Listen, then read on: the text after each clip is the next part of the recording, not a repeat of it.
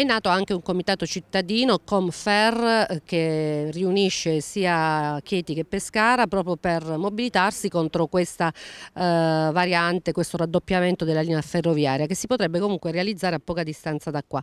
La signora Luciana è un'altra delle persone che vedrebbe abbattuta la propria casa, che è questa alle proprie spalle. Da quanti anni abitate qua? Eh, io mi sono sposata, quindi 42 anni che stiamo qua.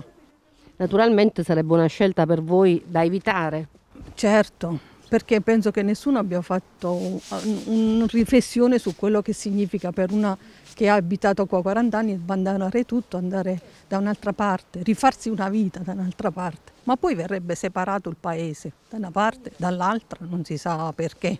Cosa chiedete allora? No, noi non vogliamo che la ferrovia eh, si fermi, c'è la possibilità di farla dall'altra parte del, del paese, quindi sarebbe anche meno invasivo perché non, nessuno verrebbe eh, sfrattato.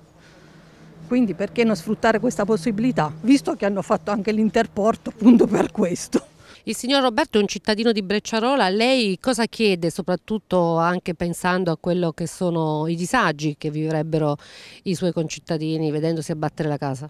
Ma io voglio eh, puntualizzare soltanto una cosa, non si può progettare una linea ferroviaria con una cartina geografica. Secondo me eh, andrebbe fatto inserendo anche i tecnici locali dove conosce il territorio, sa tutto del territorio. Qui hanno fatto un progetto su una cartina geografica e credo che sia una cosa infattibile, proprio inesistente. Bisogna rivedere il progetto e sfruttare, come già si è detto, la linea ferroviaria dell'Interporto, che avrà anche un, a livello economico un costo minore.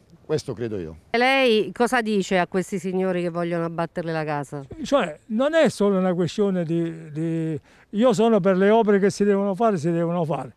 Però che devono distruggere cinque paesi, perché non è solo la casa mia. Se era solo la casa mia, va bene, è una casa sola buttiamola a terra. Qua si tratta di, pare che sono 250 case, non lo so. C'è anche un valore affettivo che comunque... Affettivo prima di tutto, perché tutto questo lavoro che stanno facendo è stato fatto tutto con tanti sacrifici, mutui, eh, debiti, cose e più, dopo tante cose che noi abbiamo sacrificato, delle domeniche, dei giorni di, di, di riposo per fare sti, tutti questi lavoretti perché l'abbiamo fatto economia, perché i soldi non ci stavano.